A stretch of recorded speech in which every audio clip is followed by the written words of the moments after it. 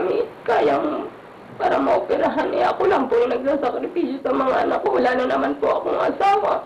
Taxi driver ang asawa ni Lizelle sa Pilipinas pero sinaksak at napatay ng isang hold-upper noong 2006. Kaya't mag-isa niyang itinataguyod ang pitong anak kabilang ang teenager na si Relin.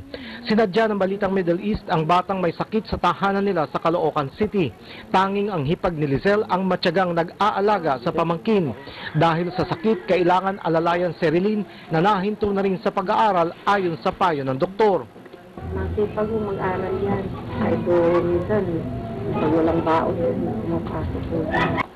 Mayo pa nang ma-confine sa isang government hospital si Relin.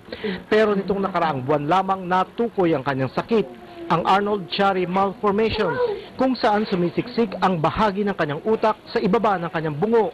Ito ang dahilan kung bakit nanghihina ang kalamnan ng kanyang ulo at mukha.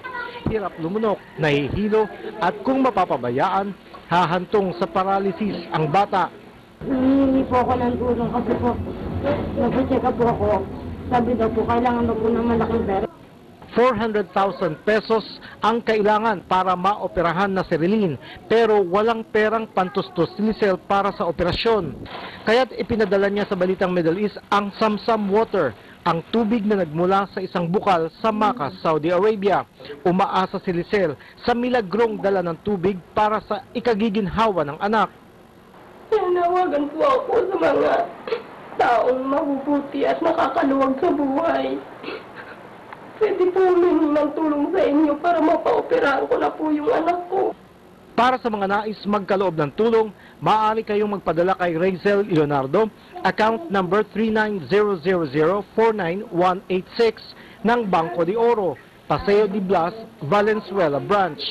Hindi po ako natatakot po, pero siguro, parang pag iniisip ko po yun, iniisip ko po, matagal na po ako, gusto ko na pong pumasok sa school, gusto ko na pong gumaling.